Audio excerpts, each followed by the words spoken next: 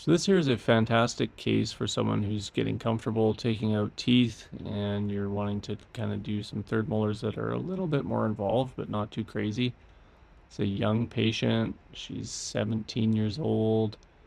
Here we've got soft tissue impaction here on the upper right side, so just using a 12.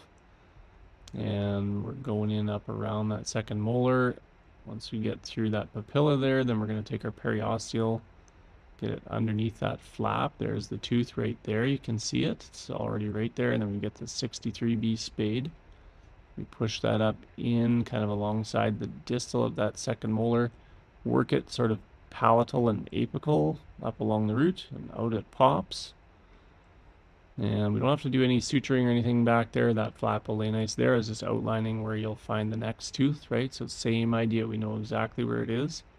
So we want to try to design our flap around that, right? So always have an idea why you're cutting the flap or why you're making it the shape that you are, right? You need to kind of guess why you're or what you're going to be delivering through the opening and how big you need to make it.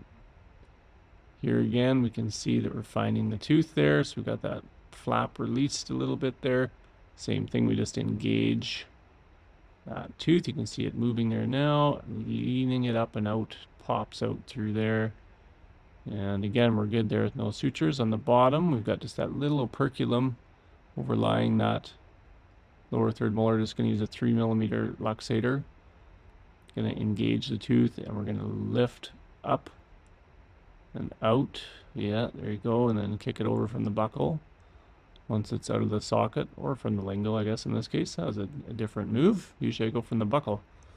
Uh, and there we got the three teeth sitting there. You see the roots aren't developed yet fully, which is great. That's perfect timing for these uh, because they tend to come out quite easily.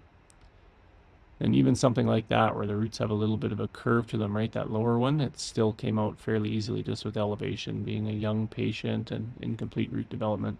Same thing here, patient's biting down, we're supporting under the jaw, levering up and out. That tooth pops out of there. And here is the school of fish. At least it's what it reminds me of.